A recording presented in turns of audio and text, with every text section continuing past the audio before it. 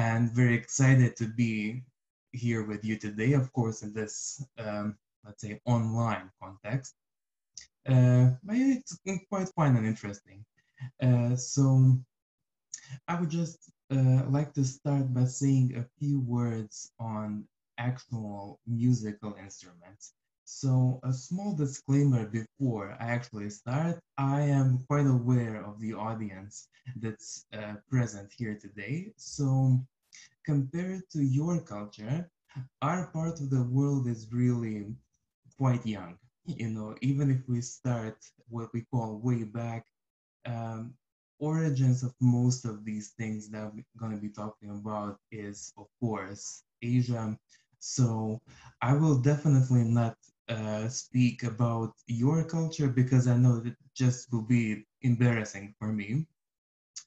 So that's why I wanted to emphasize uh, the fact that I will be um, predominantly focusing on the so-called uh, Western uh, tradition. I won't start too far back in time because I know that they can be uh, quite confusing, uh, but there are certain um, elements that feel like should be discussed in order to understand uh, things, uh, specifically culture and music, in a more uh, broad uh, context. And that would be my primary goal uh, of this uh, lecture.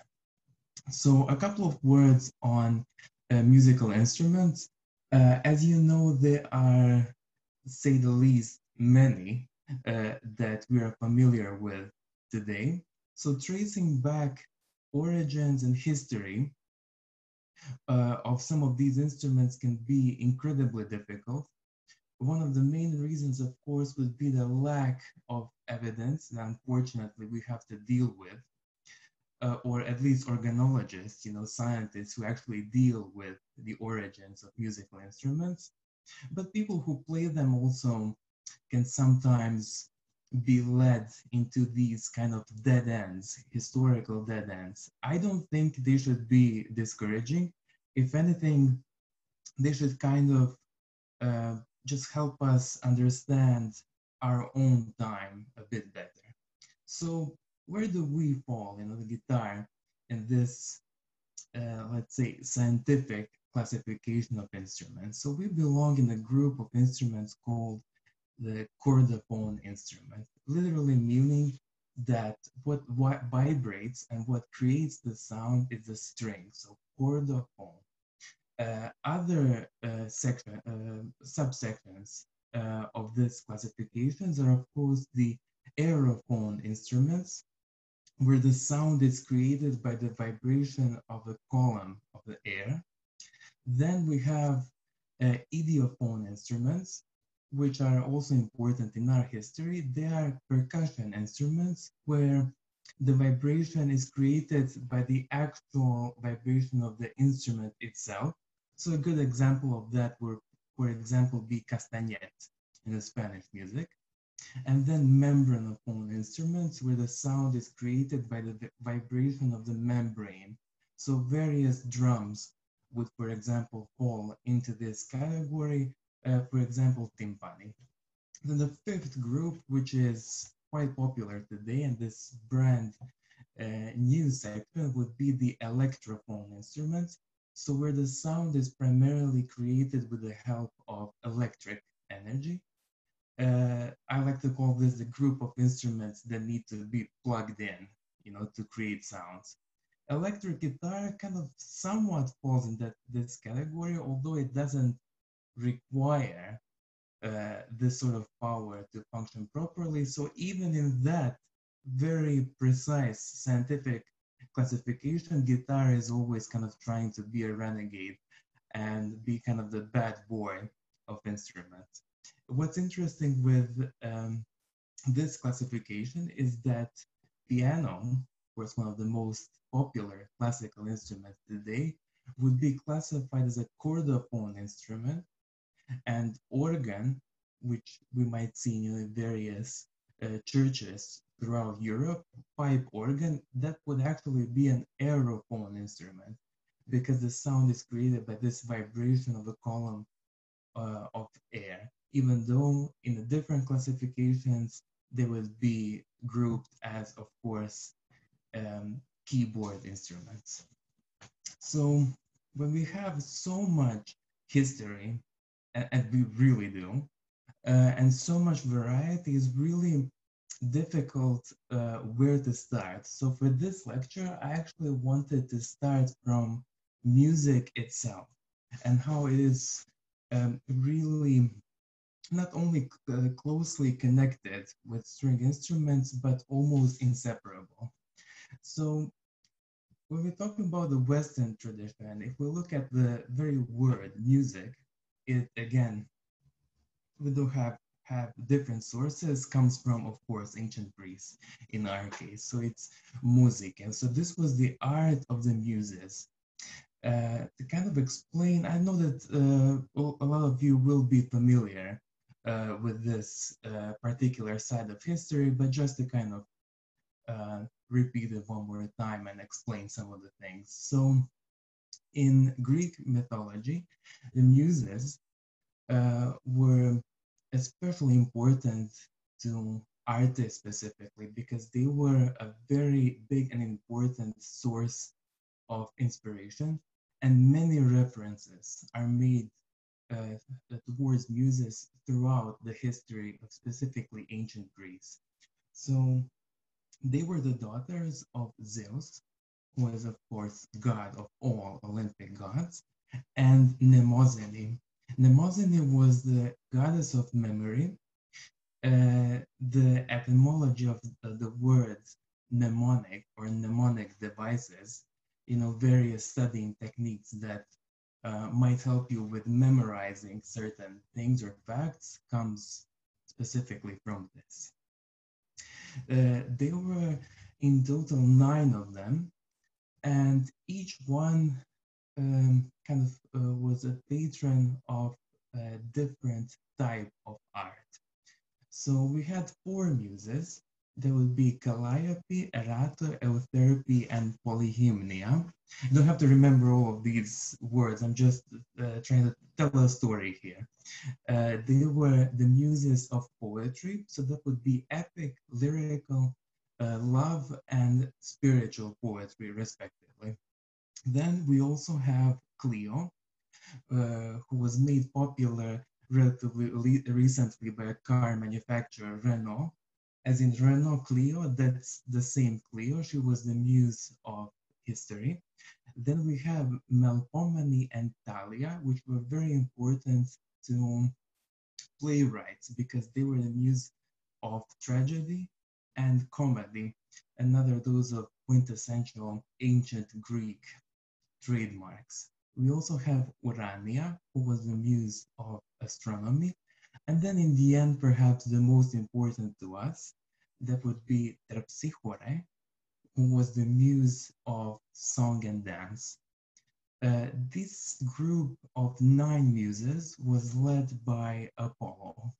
Apollo was the god of uh, many things, son of Zeus, this incredible personality, but he's important to us because he was the god of uh, music and of course the leader of the muses. Now, the instrument that he is directly connected with and is said to originate this instrument is the kitara. Uh, one of the first mentions of that word, and it's important to reference it because it's mentioned quite often in contemporary history as one of the origins of guitar. Now, throughout this lecture, we will see that that's not particularly true necessarily in terms of real life, but it also explains how important mythology was and in many ways still is to uh, artists throughout centuries. Uh, there was an accompanying instrument uh, which was said to be the instrument, and that's the lyre or lyra, to be spelled as L Y R E. Uh, that instrument was said to be created by uh, a very interesting god. So he is Hermes or Hermes. Uh, in Roman mythology, he is known as Mercury, and he is, of course, familiar to us because the closest planet the sun was named after him in our solar system, and he was the speedy messenger of the gods. He is said to have taken a set of gut strings, connected them to two different sides of a board, uh, and thus the lyra was created, you know. That, that's the story, and these nine strings represented the nine muses you know.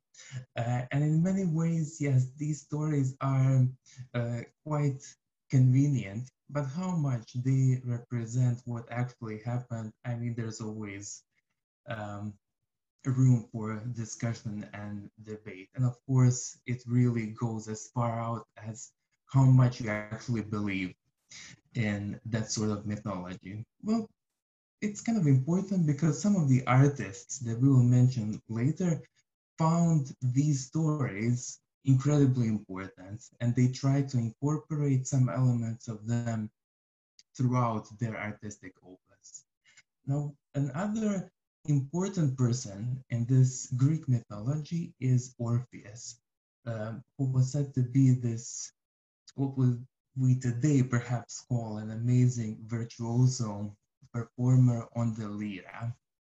He's famous because of the story connected to his beautiful young bride, Eurydice, or in Italian, Euridice, and how after she was poisoned by a serpent and died tragically shortly, shortly after their wedding, he, uh, Orpheus, descended into the underworld uh, met with Kerberos, crossed the river Styx to meet with Hades and Persephone, who were the god and goddess of the underworld, to beg them to release uh, his beloved bride from this e- eternal damnation. And this story in particular will reappear over and over again, especially throughout the Renaissance and Baroque, but sometimes even after the, these periods, and will actually significantly influence some of uh, the lutenists and guitarists that I will mention a bit later in this lecture. Now, a brief mentioning of the what music meant for ancient Greeks cannot really go without saying that it was an essential and core part of their education of course, this type of education was primarily reserved for wealthy males. Uh, and in many cases, unfortunately, not much has changed, but it just shows um, how important education really is and how we should value it as much as possible. So the uh, subjects that they were covering ranged from arithmetic, uh, geometry, uh, astronomy, uh, gym gymnastics, of course, they found this um, incredibly important, but also music. Uh, learning music, both theoretically and practically, as in that you would actually be able to uh, sing and play an instrument, was of truly vital importance. It was very highly regarded. Another instrument that will be featured throughout this history would be a woodwind instrument. So that would be an aerophone instrument, and that would be aulos. Now, one thing that I would be referencing throughout my lecture is how the perception of these instruments changed throughout time. Because in ancient Greece, even though music was, as still now remains a bit of a controversial subject, uh, lira and kitara were considered to be superior in uh, with, uh, it's respect to uh, wind instruments. Um, and it was much more regarded than vocal music because instruments were thought to be that essential connection between terrestrial and celestial. Uh, how much we personally believe in this perhaps is not even as important. The thing is that it was of incredible importance to ancient Greeks. And as we know, they played a really incredible influence uh, on what happened throughout development of culture in uh, Western civilization.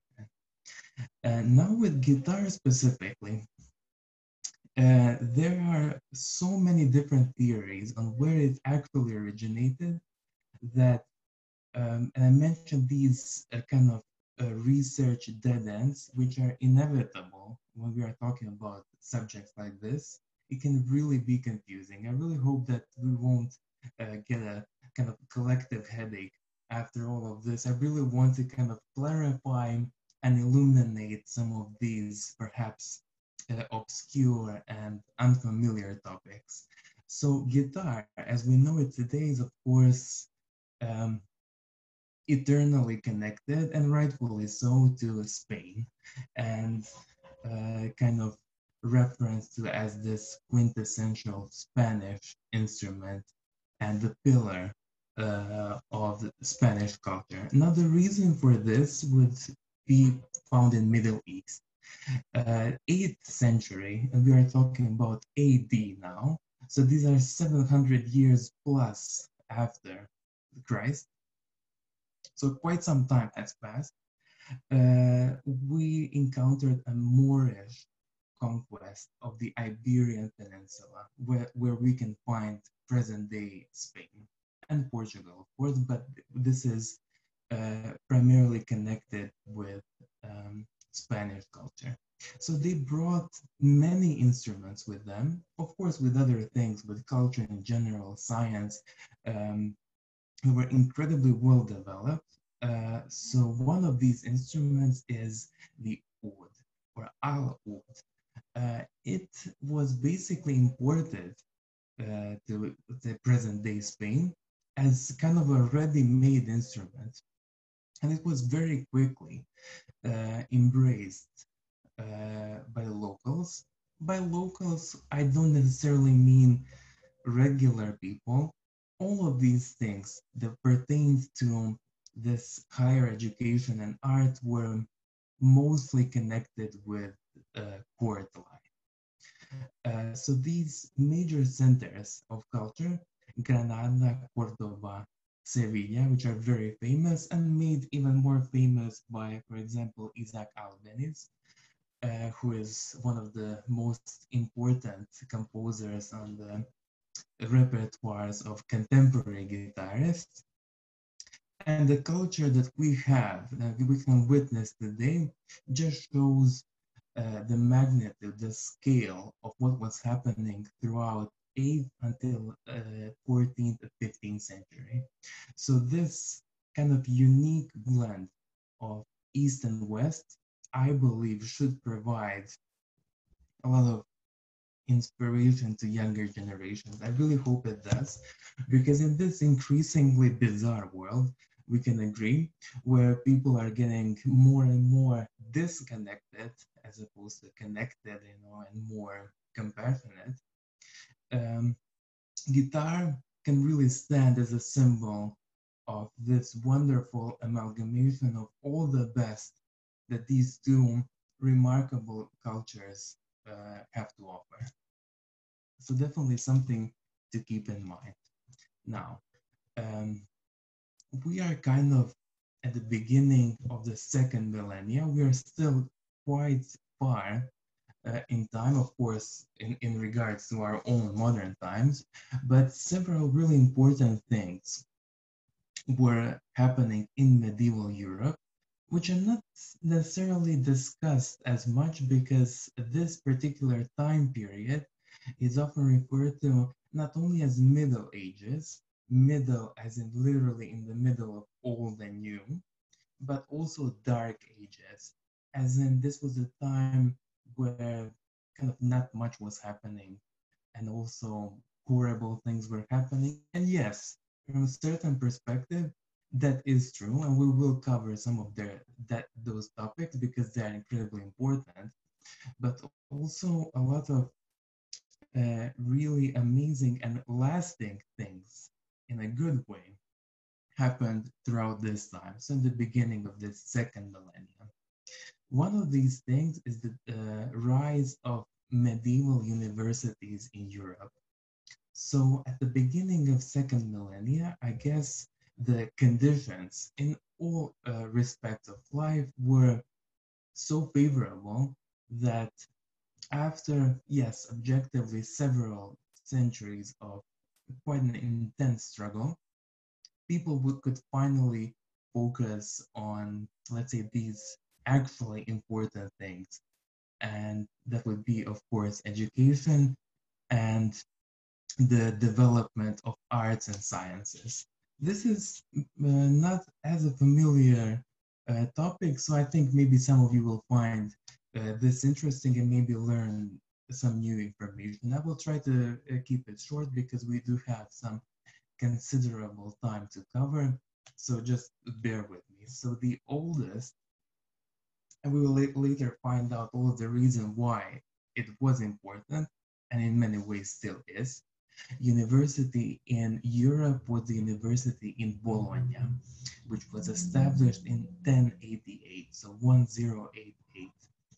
Uh, the other that followed, University of Paris, was established in 1150 and also followed by today that's very famous universities that would be Oxford in 1167 and Cambridge in 1209. Uh, so why they should be particularly interesting to us is the subjects that they were studying. So some of these concepts, uh, concepts such as degrees that students attained at these universities. They were called, and I'm sure you'll be familiar with this, uh, the Bachelor of Arts and Master of Arts were established then. So eight or 900 years ago, and this is still lasting. And they, they also had a core cu curriculum, which were called the seven liberal arts. Uh, so they were divided in two groups. One was considered to be more linguistic and let's say more practical. Uh, those three subjects or trivium uh, were grammar, rhetoric, and logic. Uh, and this was obligatory for all students that were attending universities, regardless of their field of specialization. The other group, quadrivium, which means it contained four subjects, we might find familiar from the times of ancient Greece. So they were arithmetic, geometry, astronomy, and music. Yes, music who is in some places, unfortunately, even to this day, considered a lesser subject. It's important to stress the fact that it was a core subject in the curriculum of first universities in Europe. I think we kind of have to stop to appreciate the gravity of that fact. But it wasn't all great, you know, sunshine and rainbows, because we can also kind of trace back to that time this eternal divide between music theory and practice. We can kind of point that also uh, towards those medieval universities because they believed that even though music was very important, theoretical knowledge of music was much more valuable and important than its practical aspect. So actually being able to sing or play an instrument, it was not as highly regarded. And also, uh, culturally important, vocal music was kind of the only accepted form of music making. Uh, but, you know, people back then were perhaps not as different to us as we might believe or would like to believe. There was also clear divide between music that belonged in the church and secular music. So that was the kind of music that was played amongst the people, you know, and even at courts. And that's also kind of where our story fits in. These are the origins of first bands let's say what we might today consider, you know, pop rock band or whatever, that was also present uh, in the musical life of Europe, again, 800 years ago. And some of these you might already be familiar with. So these were mostly traveling musicians. They were of various uh, degrees of social status, so they were not all necessarily homeless people, even though a lot of them were literally homeless and they were traveling musicians. A lot of them were actually employed by various courts throughout Europe. So we even then see this uh, very large spectrum of places where guitar belonged in. Uh, these traveling musicians were called jongleurs in most of the France. Uh, then we have goliards, uh, which were closely connected to the university life because they were mostly students. And the kind of art that they tackled was actually uh, satire and kind of that uh, origin of um, kind of satirical take on politics, uh, on church. It was uh, kind of the core subject of their art which was predominant from the 11th until the 13th century. And it's actually more or less surprisingly very popular today because it inspired one of the most famous, well-known and performed works of the 20th century, and it's Carmina Burana by the German composer Carl Orff. So yes, that originated also way back in the 1200s. And also we have troubadours. Um, troubadours, uh, this title was used in reference to many different kinds of artists and musicians, and even in today's use, um, it's actually used quite frequently uh, to describe a wandering musician, you know, someone very artistic and this uh, kind of romantic image of a traveling artist. So this is where all of that originated and guitar, or some forms of that instrument were always present in this. And we, fortunately, even though we don't have um, as much um, uh, information as we would perhaps like to have, um, we do have some information that points us uh, in this direction uh, a couple of interesting kind of funny bits uh, about um, this period in universities. And this is just a fun fact before we continue with the guitar story, was the way they were governed. So these, even today's very famous universities, Oxford and Cambridge, were under the patronage of the state, or more specifically, the crown. Uh, the University of Paris was run by the Catholic Church, and the teachers or professors were definitely the one who were uh, running the university. But then most interestingly perhaps would be the University of Bologna, the oldest of all universities. It was actually governed by students, if you can believe that. So teachers or professors had actual uh, minimal power. They completely depended uh, on their students. Students were responsible for uh, their uh, actual creation of their timetables and schedules, if you can believe the student uh, is affecting this, and they also set their pay. And if they didn't particularly enjoy someone's lecture style, um, or perhaps found that boring or just wanted a bit of personal revenge, they would actually drive out professors out of towns and just leave them without work. Now, exciting thing about what's happening now is the rise of this uh, online schools, uh, which in like a really wonderful way, a thousand years later, might actually give back more power uh, to students, which I actually think they should. How was this system sustainable? it was, you know, the university not only did not collapse, it was definitely one of the most prestigious universities. So that just shows you that really everything is possible. Uh, that university specifically was famous for the study of law.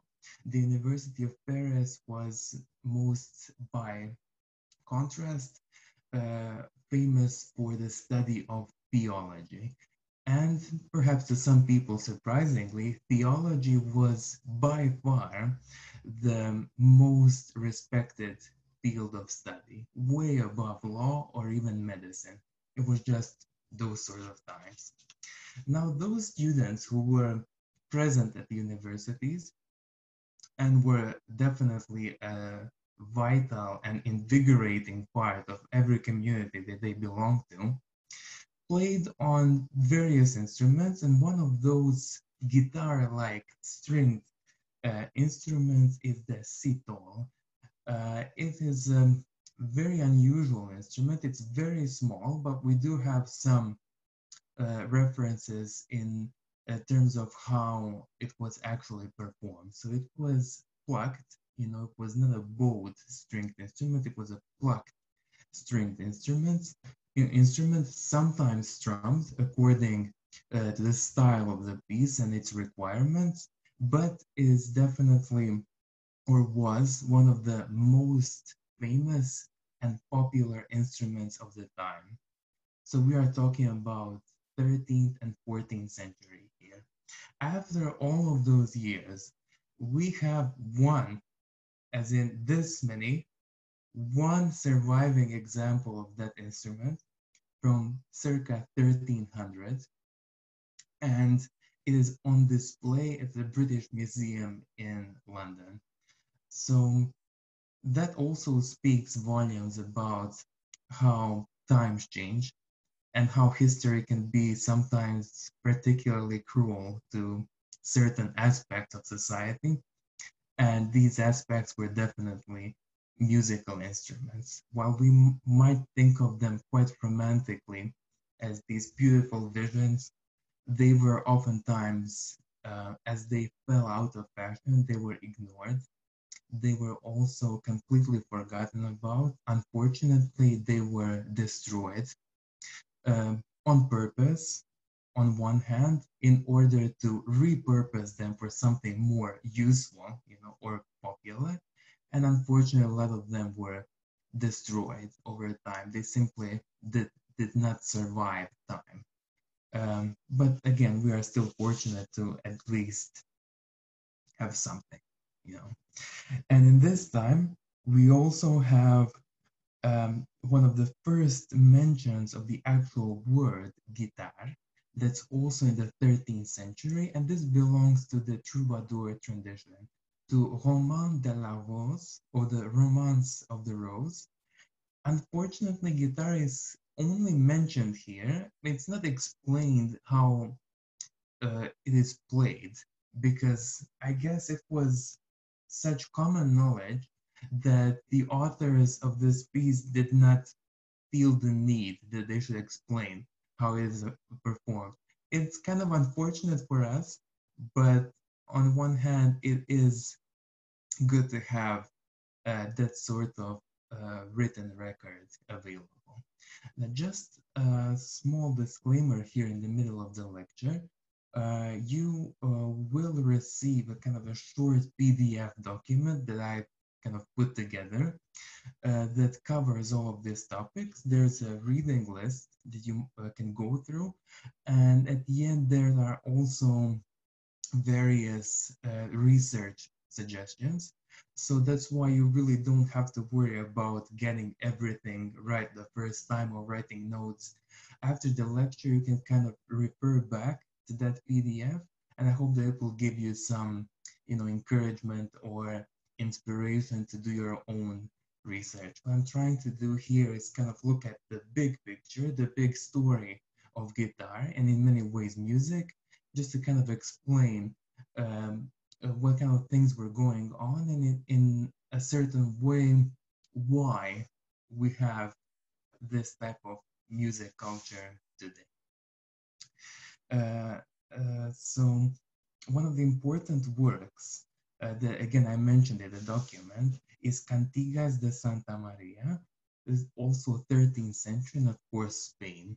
Uh, his author is referenced as Alfonso X, who was the king of uh, Castile and Leon.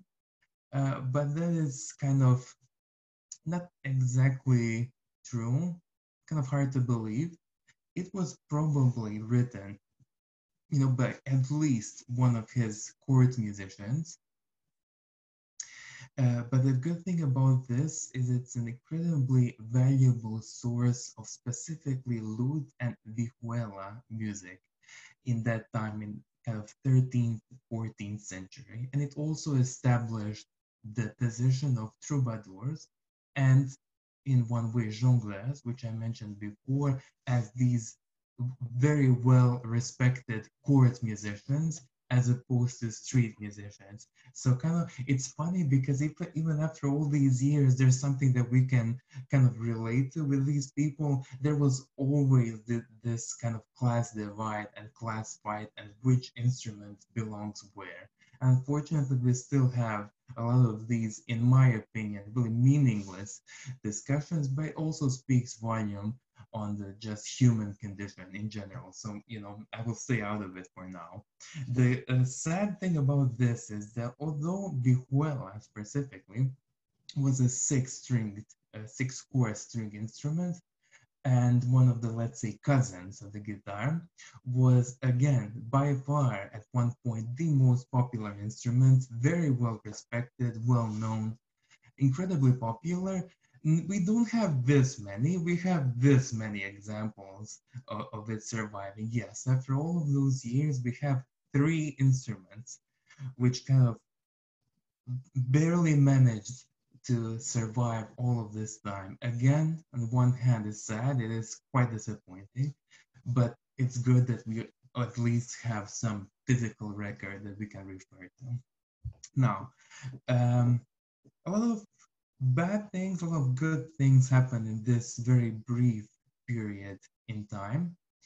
One of the, of course, most horrific events in the history of the uh, Western world was 1348 and uh, the Black Death or the Great Plague.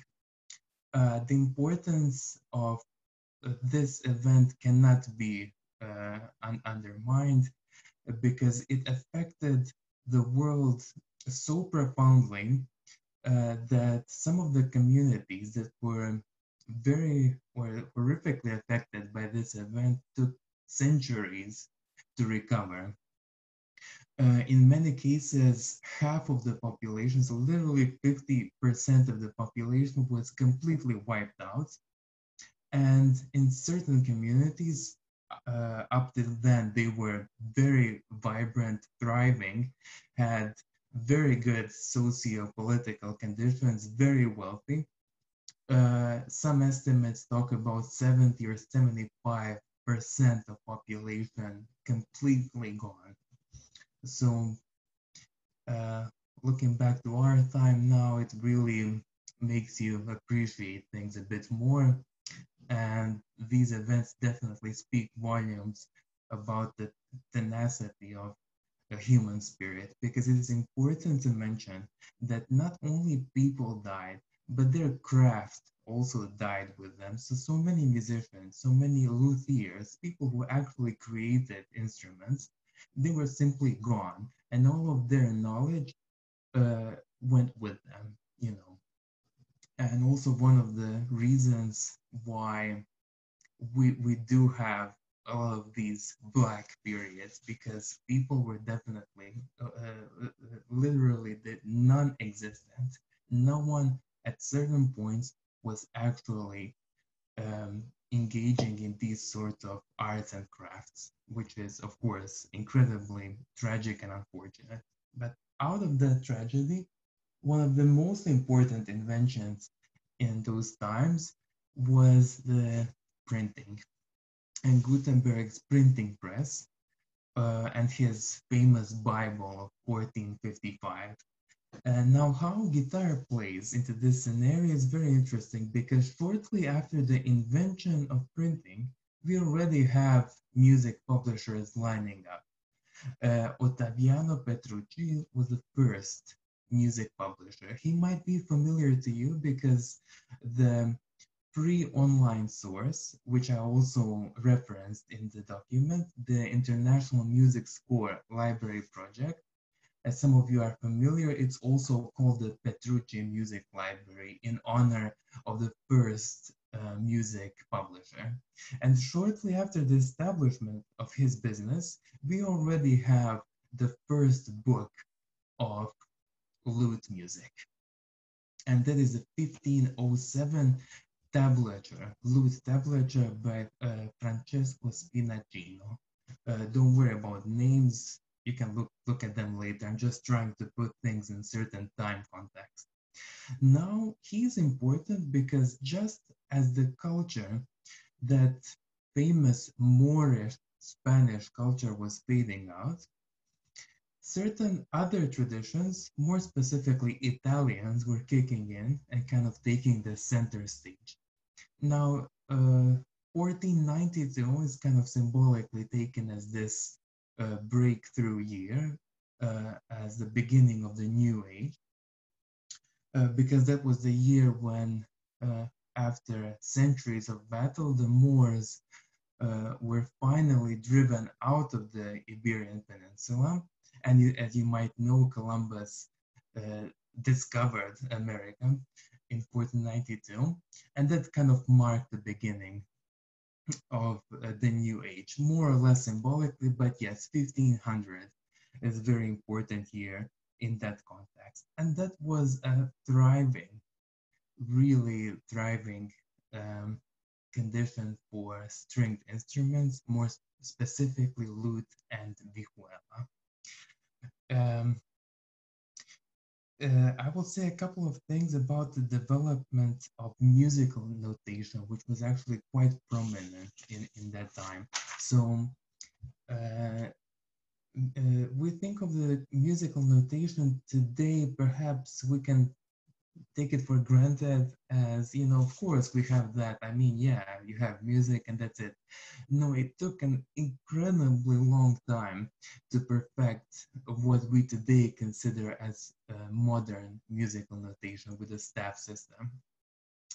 Uh, most if not all of music of that time was preserved through some use of tablature uh, this term might be familiar not only to some of you who are already into this medieval or Renaissance music, but also to people who are just kind of trying to learn some guitar and they're kind of picking it up and doing their own thing. They will go online and search for guitar tabs, you know, or chords. Now, this system is actually very important and has an amazing practical purpose. So the thing is that with all of these instruments, no matter how much they vary, they did have certain things in common. They varied in size, in construction, even in style of playing, strumming, plucking, uh, and there's all sorts of evidence and sometimes contrasting evidence can be incredibly confusing. But What's important is that it was also a fretted instrument, instrument with actual frets. And in parallel uh, to uh, the strings, it actually creates a grid, a grid system, which could actually be kind of graphically represented. And we have um, so many really wonderful examples of this, and it's such an elegant system. Yes, of course, it had some negatives because in comparison to some uh, modern techniques, it was lacking, but it has so many benefits. We can actually learn so much about uh, how those kind of early Renaissance uh, performers actually played their music. We can actually like physically see it.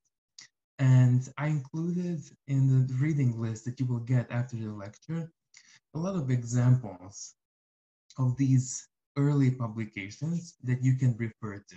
You know, one of the most famous from that time was from 1530s, uh, a book of tablatures by Luis Milan.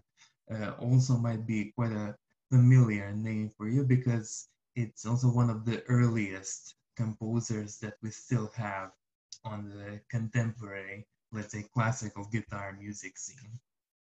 Now, a couple of words on the actual techniques of writing tablatures. There were three distinct types, all of which you can kind of check out uh, in these two sources that I put in the PDF. There were the Italian tablature, which used the system of numbers. So for example, zero uh, was um, referenced to as the open string, one, the first position or first fret, two, second, three, third, and so on. So a very elegant system that might kind of instinctively be very familiar to us today. The only difference kind of can be quite confusing until you get used to it. It was in reverse. So what we would say or consider to be the first string, it actually referenced the sixth string. So it is kind of upside down. It takes some time to get used to it, but you know, I, I with some practice, I'm sure that you will uh, become quite familiar with it. I really encourage uh, doing some research on this because it's incredibly important for the history of guitar. The second most popular system of tablature was the French, which actually used uh, the letter system. So A, as in small letter A, uh, was the open string, B was the first position, C second, D third, and so on. Another again, very elegant, very popular system of writing. The third was not as prominent as the first two, but it is kind of interesting from this kind of cultural standpoint and historical research, and that's the German uh, tablature system. As you might guess, it was quite complicated. It's quite Germanic in its structure, uh, and every single note that was represented had a special symbol. So from this perspective, it was definitely significantly more difficult to read that sort of music. But again, I guess with kind of this cultural background and with practice, it was really um, not a big of a deal, you know, as we might say today. Um, uh, something I also wanted to mention, yes, the tuning of um, the. Mm-hmm. Yeah, yeah, I have me. a request from a few people. Yes. While you're talking about these eras, could you play us a little bit? Uh, you know, if you have some sort of, I mean. Yeah, yeah, of course. I always have something ready, but I, I should I, I mean, mm, uh, I, uh, okay, fine. Well, it's up to you. It's up to you. But you know, this is I've, I've just got I a just, few requests coming in. I thought I'd pass it on. You decide what you want and what you feel. I, I know. Listen, I really appreciate it. I have a lot of this music available online for free. I can give you the links. Uh, and, and maybe playing up with Lee for some other time. There are some things I would also kind of like to go through. Um, you know, if that's okay. I really, uh, uh, you, you know, just to kind of explain a, a, couple of things that are going on. And also, I know that this is quite a bit of information.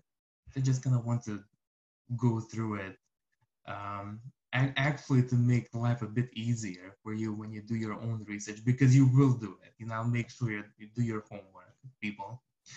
Uh, the thing is, with, with, this particular era, with the Renaissance, um, so we are talking about 16th century here. Why we have these sort of things now? It's because of the tuning. The tuning system is very important here, and we have some of those remnants um, still available to us today. So uh, a Renaissance lute, specifically, play all of this music from that time period, was a six-course instrument. I would actually love to have uh, like a physical example of that instrument. Unfortunately, I have just a couple of regular old classical guitars. I would I would like that more. Uh, so that's why I encourage you to really go out there and, and listen to actually see those instruments. I cannot really help you with that, uh, and to really experience uh, uh, what they were like because they're incredibly fascinating, you know. Uh, so this important thing, just to kind of clarify why we are playing it the way we are. So it was tuned kind of differently than today's modern guitar. So if we take uh, the regular guitar and we put a capo on the third position, we can read out the notes that we have. So from the bottom string, which we start with Sol or G, then we have C, F, and now the controversial third string. That's an A or La. That's why when we are playing this type of music, it is indicated that the third string should be lowered by a semitone from G to F sharp. And that's the entire philosophy behind this, because the final two strings, again, we have D and G. This is so close to today's guitar tuning it's almost kind of mind-blowing. So the only major difference is first that it's kind of up a minor third. But you know, we got used to it over time and you know that's not such a big deal. But the difference is that the third, the major third is between fourth and third string, you know, instead of today's between uh, third and second. I hope this uh, clarifies things a little bit because I know how um, really incredibly confusing this particular time period can be because there's so much uh, conflicting information.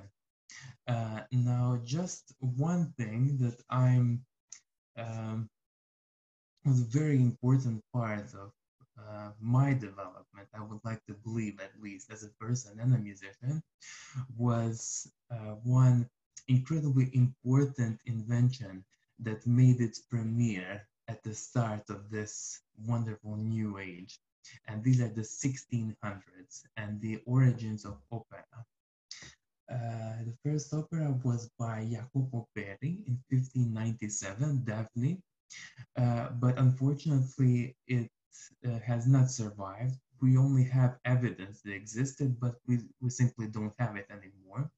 Fortunately, just a couple of years after that, he composed another opera, which is kind of officially considered to be the first, and this is exactly in 1600. And we can almost kind of uh, guess what it was entitled and uh, who were the most inspirational figures. Yes, they were the Orpheus and Eurydice that I mentioned at the beginning of the lecture. And a couple of years after that, in 1607, we have Claudio Monteverdi and his opera L'Orfeo, which is literally Orpheus, this tragic story um, of this mythological, wonderful composer, musician, uh, who is trying to save his bride from the eternity in the underworld. Now, what's interesting with this is that Orpheus conveniently misplaced his lyre, kind of loses his instrument, and is replaced by a vihuela. This uh, imagery is more and more prevalent uh, uh, in this era than in any other.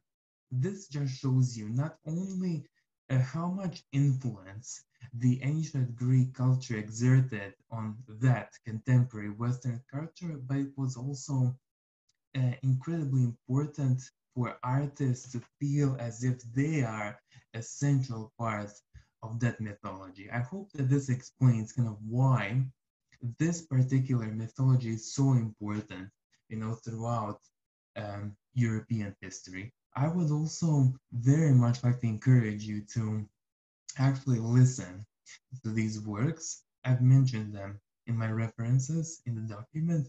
Um, and I really hope that you give them some time be because I really think they are incredibly important.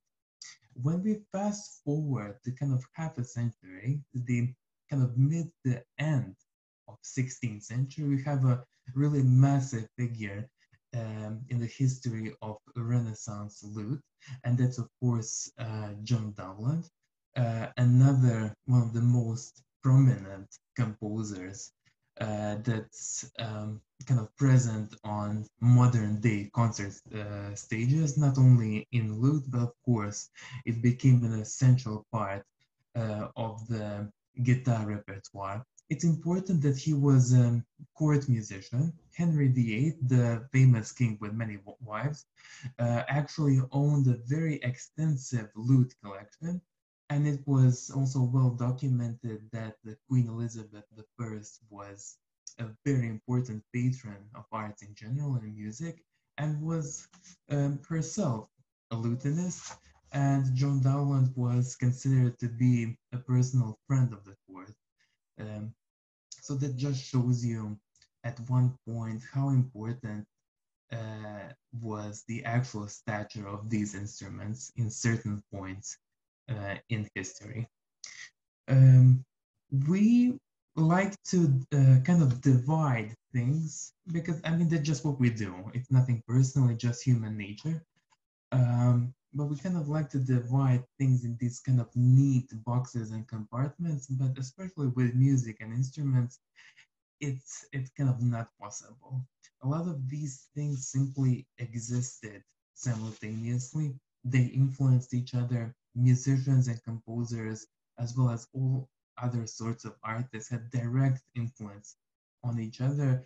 And this really um, kind of significantly influence the artistic output that we have available today. And Baroque as a period was especially vibrant in that respect. We have the rise of a very interesting instrument, that's the Baroque guitar, so before the guitar was simply considered as a smaller vihuela with four strings, now we added one more bass string. So it was also kind of gradually de developing, although it took quite some time to to get there. Uh, so what I'm sorry, I hope you can hear me now. Um, is that guitar like any other instrument, it all, always kind of needed a very big proponent of the instruments. You needed to have a really big artist to kind of fight for your cause. And in this specific time for Baroque guitar, it was Gaspar Sanz. Uh, we are kind of expanding the list of, of these composers. Again, they're kind of familiar to contemporary audi audiences, specifically because Joaquin Rodrigo used uh, Gaspar Sanz's opus as a source of actual musical material and inspiration in his Fantasia para un gentilhombre, which is an orchestral piece. It's a concerto type of concerto for guitar and orchestra. Another important person in this particular time period is Francesco Corbetta, an Italian uh, Baroque guitarist who was closely connected again with the English court. He was considered a personal friend of Charles II. Again, we are looking at a very, very high cultural stat stature. Uh, he is, from a technical uh, viewpoint, important because he was the one who really established uh, this uh, strumming and plucking technique as in kind of combination of both and is perhaps in some other circles known as this uh, interesting shady character because he was very much uh, into gambling and is considered to be one of the first uh, professional gamblers you know so uh, you have a bit of a fun fact for you. Uh, now, the Baroque period cannot really be kind of circulated without the mention, of course, of Johann Sebastian Bach, as in the most important composer of that era and probably one of the most important and influential composers of all time. Uh, there is really not enough time for me to talk about uh, the importance of this person and the opus, really unbelievable opus that he left behind. So I will just like to briefly focus um, on his lute repertoire, which is again quite prominently featured in contemporary guitar repertoire, kind of illuminate some of the things that are perhaps not as clear and a bit obscure, and then kind of try to connect it with what was happening at the time in Europe. So Bach was uh, probably one of the most versatile musicians and composers the world has ever seen. But even for a person like that, lute represented kind of a really specific niche specialist instrument which he actually did not play. It's confirmed that he did own an, an instrument, a lute, but there is no record that he could uh, actually play it. So these works that we have today, the lute suites by Bach, they were actually composed for a keyboard instrument called the Lautenwerk. So this is a very, very bizarre and kind of cool combination of lute and harpsichord. So it was actually literally played with keyboards, uh, with a keyboard technique on lute gut strings. It was quite a unique, very specific production and very complicated. Unfortunately, unlike those one and three with Citole and Vihuela, we have exactly this many examples of that instrument surviving today. So we only have kind of approximations and replicas, but it definitely existed. It was um, quite a uh, kind of trendy item of the day. Here we are talking about kind of early to mid uh, 18th century. And Bach was definitely very, very familiar with it. So this is the instrument that we are referring to when we are talking about Bach's lute music. Another interesting uh, part of his opus is his uh, opus 1006A, uh, which is his own transcription or arrangement of the solo third solo partita for violin. But again, even with that piece, it's not perfectly clear whether it was actually composed for a lute or a Lautenwerk, you know, this kind of really interesting invention of the times. Um, there is really not much evidence uh, that we can base many of these things upon, it's still predominantly a matter of speculation and these kind of perhaps even conspiracy theories. But you know, there are a lot of PhD students doing doing their thesis on Bach and his lute work, so I hope you know they will find something valuable.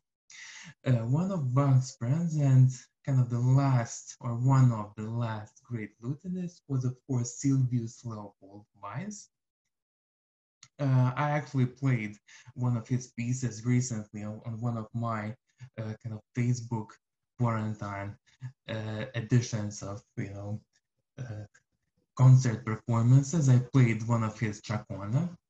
Uh, he was of course an amazing uh, instrumentalist, really brilliant, incredibly accomplished, and a wonderful composer. And he's rightfully so uh, again still very much present today. He survived, or his music survived for all of these years. Uh, his lute specifically is quite interesting because of its construction.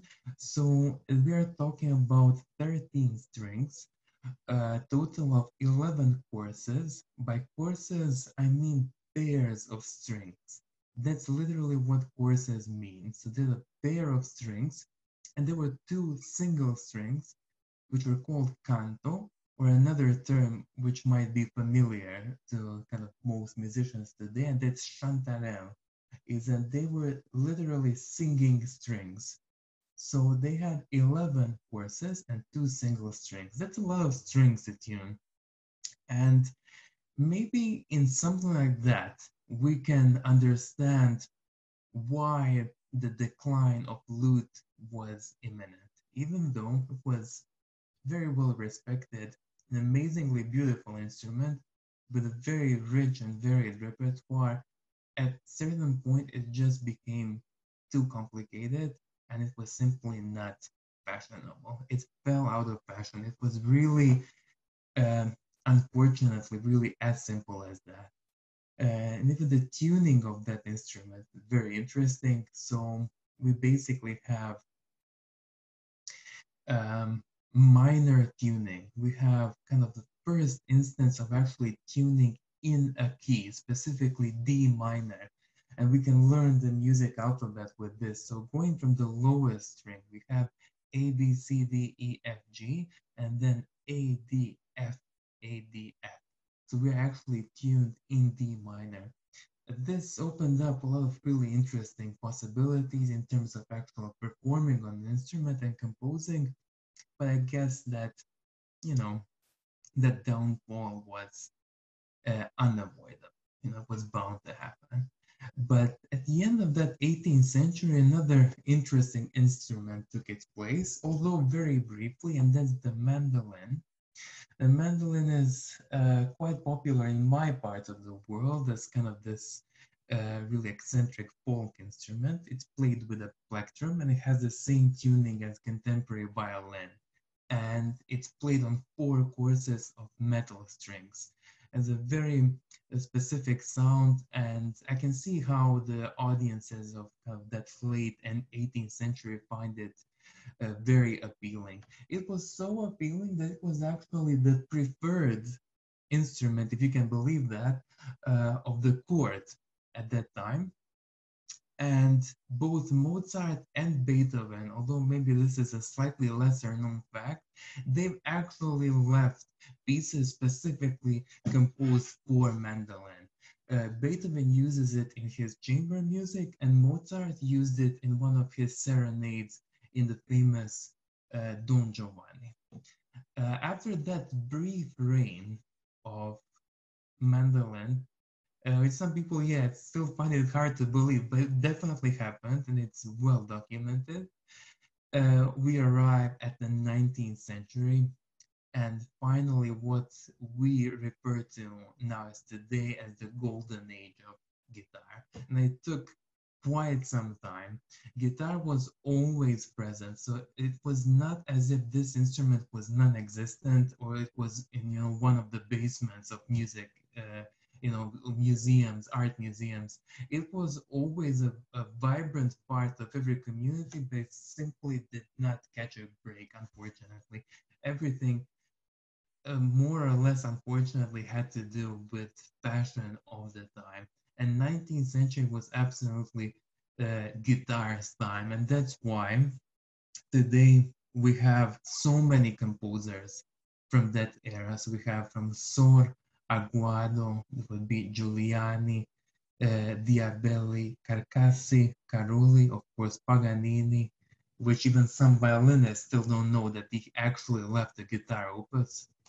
Um, Legnani, so I don't I don't want to leave everyone out, but that's why we had so many. It was simply uh, finally kind of defined, developed instrument. By the end of that 18th century, it was uh, we have first references to guitar being in the tuning that we have today. So E, A, D, G, B, E. Uh, and I guess it's, its time has finally come. It was an essential part of the European society. Uh, and a lot of uh, places actually, in, specifically in Paris, Parisian and Viennese culture, Vienna, uh, the capital of modern day Austria, uh, they actually refer to this particular movement in time as Gitaromania. And I can see how it was definitely maniacal at some point. People were definitely maybe not unlike today, felt very strongly and very passionately about this instrument and it had many heroes, many great uh, these concert performers. Of course, one of the most important ones in this period was Mauro Giuliani. And I would like to briefly reference one of his more important works and how it kind of played into that story of guitar. And that's his set of six fantasias for solo guitar which are known as Rossiniane. So they were inspired by the operas. I know I've told you I'm going to reference uh, opera music because it's um, inevitable. Opera literally means the work in Italian. So when a piece is called the work, um, it really shows you how strongly it feels about itself and kind of that connection, eternal connection, you know, with Apollo and the muses that I mentioned at the beginning of the lecture. So uh, Gioacchino Rossini was and still is to this day one of the most important and influential Italian composers, uh, most well known for his operas. Uh, interesting fun fact, maybe to kind of break uh, break down all of these uh, informations, uh, is that he was born on the 29th of February 1792, which means that only this year we finally celebrated his 53rd birthday. Uh, he was born in Pesaro, which is actually another fun fact. It's literally across to the west from where I am now. I'm on the opposite side of the Adriatic coast. So kind of that also puts you in perspective why, why I feel perhaps a bit more closer to Italian culture than let's say Germanic. Uh, and uh, being the most popular composer of the most popular uh, uh, work, music work, uh, really made him again one of the most influential artists of that time, of the beginning of the 19th century. I would really very much like to strongly encourage you to listen to some of his operas. Again, I left some of the suggestions uh, in the document. Uh, he is the also the one who actually used, physically used guitar uh, in his work more uh, most uh, prominently in his opera, a very famous one, Il Barbiere di Siviglia. has uh, many famous arias from it, more specifically the Figaro's aria. Figaro, uh, in, in one of the serenades from that opera, he actually uses the guitar. It's actually a beautiful uh, guitar part. I kind of played it relatively recently in London, you know, and hopefully I, I will again, you know, when I'm allowed to go back on the concert stage. It's really incredibly beautiful music. And when people ask, you know, how to kind of uh, get closer to this time period, how to better understand what was going on, how to play, what are the actual musical styles, I always give one simple advice and to actually listen to operas that were popular at those times. It is incredibly important. All of these composers, whether they would like to admit that or not, and mostly they don't because they're dead, but they were absolutely directly influenced by this incredibly important work, the work, opera. So there is really no discussion on these musical performance practices without referencing opera. That's why it's so important. Um, after that period, we do have what's uh, referred to as this brief period of kind of small dark age of guitar music. I kind of absolutely don't agree with that, and here's the reason why. Uh, it's again one of those convenient things to, to kind of help propel um, other cultures in the limelight. I won't get into that, but there are reasons why this simply does not stand. And that in this period, and he lived between 1822 and 1872, one of the truly greatest artists for guitar, and my absolute personal favorite, uh, created all of his works, and that's Giulio Regondi. I play his music in every single one uh, of my concerts. I've recorded his music many times. Like I said before, it's available for free online. Please check it out. He is uh, one of those reasons why it's simply not possible to say that it was going through a, an actual dark period. Yes, uh, uh, uh, musicians and specifically guitarists of those time were facing some adversities. That is absolutely right. Why? Because at kind of that time period, after the second half of the 19th century, guitar was also slightly falling out of fashion again. Yes, that is correct. The uh, you know these fancy cosmopolitan uh, societies of Paris and Vienna were perhaps not as infatuated with the guitar as they used to be, and that did create a rift, one of those major rifts between uh, guitar and other instruments, some of which unfortunately we feel to this day. But with such a long time perspective and time span, we should know better, you know, by now. That it was simply uh, a, a, matter of time and passion, and that's it. Uh, incredibly important music was composed in that time. For me personally, it's the core material uh, of my concert repertoire. So I'm eternally indebted to the composers that uh, created music during this time, most specifically to Regondi. And I would actually like to do maybe uh, some relatively near future an actual separate lecture on him, on his life and works, because they're really um, tremendously uh, important to us today and they're very interesting, really a fascinating life. But then, and maybe I would like to end here uh, because uh, I, I know this is really a lot of information, but it's important to, I feel like, end at least with this. And that uh, with all of this cultural and kind of socio-economic turmoil, there was always this one country that was a beaming pillar of guitar music, and that's of course Spain. Um, Julian Arcas, a very famous kind of this mid 19th century guitarist, was one of the leading figures of that time.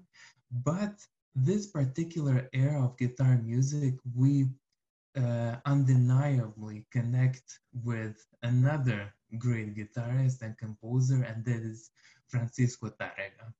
Kind of symbolically almost born in 1852, kind of marks um, the push out of that, let's say, dark, brief, dark era of guitar music, and he really helped uh, basically propel the guitar into the 20th century and established many of the very important norms that we still adhere to to this day. Uh, I really don't feel like I have to say much about his opus. I think I say, say it best with um, you know the work that I actually do. I've uh, recorded many of his works. I was very fortunate to be a winner of one of the international competitions that's held in Benicassim in his honor. So he is, in, again, an incredibly important figure in my life personally. Um, I really strongly encourage you to really take a closer look at his music, not unlike the way that I showed in my previous lecture, when we kind of try to go through uh, in different ways, from different points of view, his famous Rosita polka, uh, and to kind of also check out what was happening during his time, not only Spain, but throughout Europe, because he was a very famous and very well recognized concert artist. He traveled throughout Europe, met many people, and of course, made significant influences on future generations of classical guitarists. And a very important final fact here, one of the, is that we finally have the emergence of what today is considered the modern classical, or as I like to refer to it, concert guitar. And that was with the guitar uh, maker, guitar luthier, Antonio de Torres Jurado. He was the one who is uh, accredited as actually designing this core guitar figure um, a lot has changed since that time. That is true. We have a lot of changes in size, sometimes even in tuning. Uh, different tunings are called scordatura, another Italian term. And yes, in recent times we have all of these kind of construction developments with double top guitars and the application of contemporary materials such as carbon. But essentially, it really is his design he definitely helped in creating his own mythology. He was quite secretive and mysterious um, about his uh, kind of working process. We can call him this kind of modern day Hermes or Mercury, uh, but it is directly accredited to him. There's really no doubt about that. The major problem that he created is that he didn't sign his instruments. So even though we have many confirmed instruments that he is absolutely the author of, we also have a lot of kind of uh, these fake Torres instruments, which are kind of murking the waters a little bit and also making this particular area of research a bit more difficult. But I kind of hope that over time, as more information becomes available and our understanding of guitar develops, I really hope that we'll get more information on this and get a more deep kind of insight in what was happening specifically in Spain at the end of 19th century. Now the 20th century, we have exactly one minute left. I think 20th century alone could um, basically have at least two or three of these lectures. I really feel like you won't be disappointed by me not covering uh, this particular time period in guitar history. It's not that I don't find it important. On the contrary, it's actually too important to even to try to be fit, uh, fit in into this particular lecture. So I would be very happy to kind of extend it to maybe one of our future meetings. But I would actually like to say just a brief couple of words at the end of the lecture about the future of a classical guitar, as I call it concert guitar. Uh, I hope that with this very wide overview of music and cultural history in general, that we actually saw how complex some of these things really are, and also uh, uh, undeniably directly connected to some of the things that we perhaps wouldn't like to be connected with art, and that's money, uh, class, social status, social structure, um, cultural phenomena, certain fashions of the time. But it's a fact. What can be kind of derived from all of this is, and that's why I mentioned universities, perhaps a bit unusual in this sort of context, it's the young generations always that at the front lines of the development of basically anything. And that's why today, well, not only guitar, but the entire classical world in general is facing certain crisis, especially after the recent events have kind of helped uh, put all of these things in even harsher perspective, it's really perhaps more than ever up to the younger generation to kind of revitalize the classical community, classical music, or specifically classical guitar community. And I really believe uh, that your area specifically, uh, the kind of Eastern Asian culture, uh, has the potential to really be a key player uh, in this uh, whole procedure, if you will. Uh, I really believe uh, that by investing um, even more, you know, passion, love, time, energy, knowledge, um, and with having a, such a massive fan base and, and so much actual human potential, I really find that incredibly uh, exciting. And I really think, and I, I believe I can say something to this fact because I do know something, as I hope that I've kind of displayed throughout this lecture. Uh, I really think that this is uh, the direction that not only guitar but classical music in general will hopefully uh, take in order to kind of enter this uh, new era. And I would again like to thank Veda for inviting me uh, to do this lecture. I think the work that she is doing for the Guitar Society is um, incredibly important. And I'm very fortunate and honored to be a part of that story. So I hope that you enjoy this lecture. Thank you very much.